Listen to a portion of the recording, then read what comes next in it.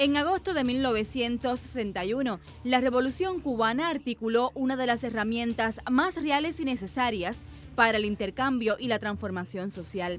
Al decir de Graciela Pogolotti, ensayista e intelectual cubana, debía ser este un espacio de convergencia para la diversidad de credos estéticos.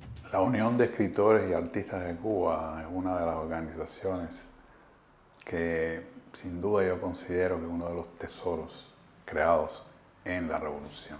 La UNIAC como organización viva late paralela al pulso de esta revolución.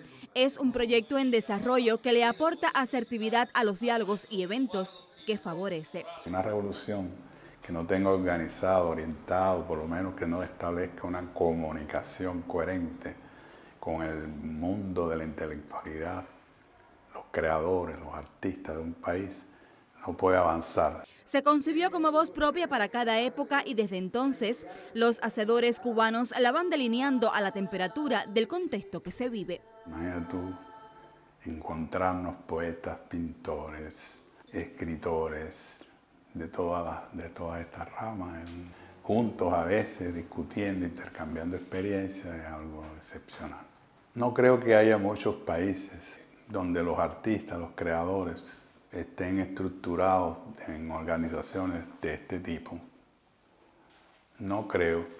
A 60 años y como fe de organización dialéctica, cada militante sabe esas misiones urgentes que se deben asumir como fibras de vida.